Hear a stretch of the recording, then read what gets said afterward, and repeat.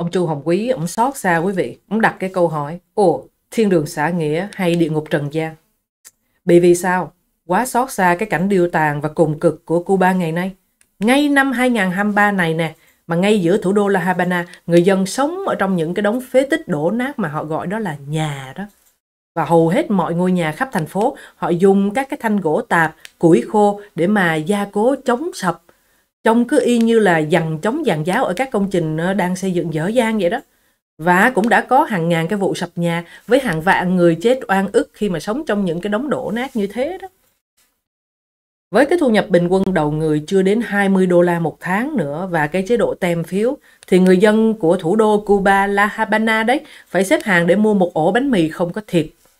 Chợ đồ cũ ở Cuba hả? Có bán cả những cái chiếc bàn chải đánh răng đã qua sử dụng luôn đó quý vị. Và những cục pin cũ đã dùng hết pin rồi. Xem các cái video trong cái link. À, thì quý vị cũng sẽ thấy đó. Để mà thấy cái cuộc sống khốn cùng giống như địa ngục của người dân Cuba hiện nay và hãy hồi tưởng lại cái quá khứ của miền Bắc xã hội chủ nghĩa mới đây chưa có xa đi.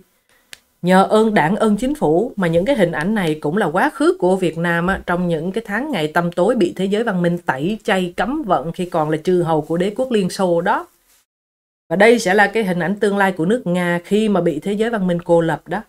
Xa lánh văn minh thì chỉ có một cái đích đến duy nhất là mọi rợ thôi. Không thể có con đường nào khác đâu.